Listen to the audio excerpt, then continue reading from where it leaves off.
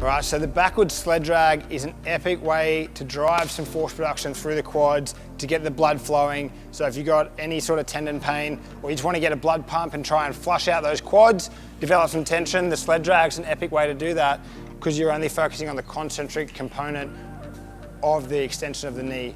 So setting up with a sled, what we're gonna do is just take some steps back and just try and put as much force through the floor as we can in the aim of extending the knee to drive some force through the quad. So you're just stepping back and you're just trying to really extend the quads so that he gets that last five degrees of contraction through the VMO and trying to get some blood. So you can do as heavy or as long as you need to to get that pump through the knees.